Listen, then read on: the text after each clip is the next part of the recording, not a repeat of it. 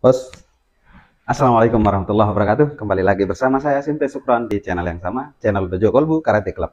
Di video kali ini, Simpai akan menjabarkan uh, detail tentang uh, urutan atau tingkatan sabuk di karate. Ini untuk informasi bagi yang pertama kali mengenal karate ataupun adik-adik pemula ataupun orang tua wali yang bertanya tentang tahapan-tahapan atau tingkatan di dalam karate khususnya di uh, sotokan yang berada di Indonesia secara umum ya. Secara umum uh, ada beberapa tingkatan yaitu dari Q10 jadi kalau untuk Q itu dimulai dari angka 10 sampai nanti dia Q1 ya.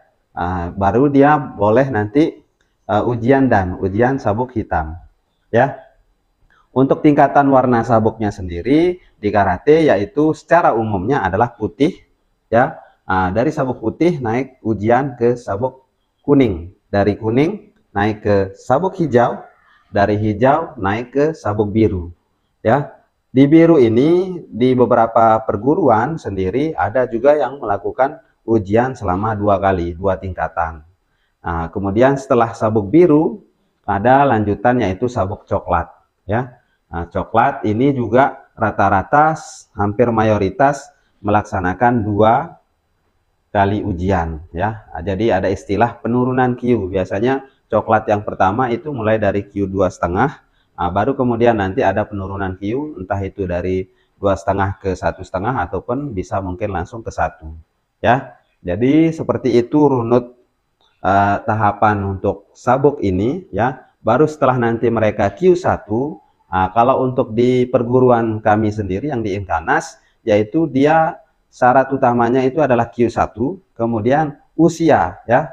Usianya minimal 13 tahun ya kalau untuk di Inkanas. Kalau untuk di perguruan lain mungkin tergantung nanti perguruannya masing-masing, ada ADRT masing-masing. Nah, jadi uh, tingkatannya itu kira-kira ada uh, putih, kuning, hijau, biru, coklat, baru sabuk hitam. Jadi uh, kalau untuk yang memulainya di usia 12 tahun atau 11 tahun kalau dia rutin ujian per semester biasanya dalam rata-rata semua perguruan ujian itu dilaksanakan satu kali per enam bulan per semesternya. Jadi dalam satu tahun bisa mengikuti dua kali ujian. Jadi untuk mencapai sabuk hitam itu jikalau anak-anak ini berkembang dengan bagus dan rutin mengikuti uh, ujian sabuk maka cukup tiga tahun nah, untuk bisa mencapai sabuk hitam pertama ya untuk sabuk hitam sendiri biasanya disebut uh, dan ya dan. Uh, untuk sabuk hitam dan satu kemudian baru naik dan dua dan tiga dan empat dan seterusnya. Untuk kenaikan dan sendiri uh, tahapannya itu adalah uh, di kita berbicara tentang uh, inkana sendiri ya. Jadi untuk dari dan satu ke dan dua itu uh, minimal dia menunggu selama dua tahun ya. Nah, jadi untuk dan dua ke dan tiga kita menunggu selama tiga tahun. Dan tiga ke dan empat kita menunggu selama empat tahun. Dan begitu seterusnya. Jadi setiap kali naik tingkatan dan itu kita minimal harus punya uh, jeda rentan waktu. Uh, kurang sehari saja tidak bisa. Karena itu sudah uh, menjadi kesepakatan bersama dan aturan yang sudah dibuat di ADRT yang harus disepakati yang harus disepakati masing-masing perguruan dengan ADRT-nya masing-masing.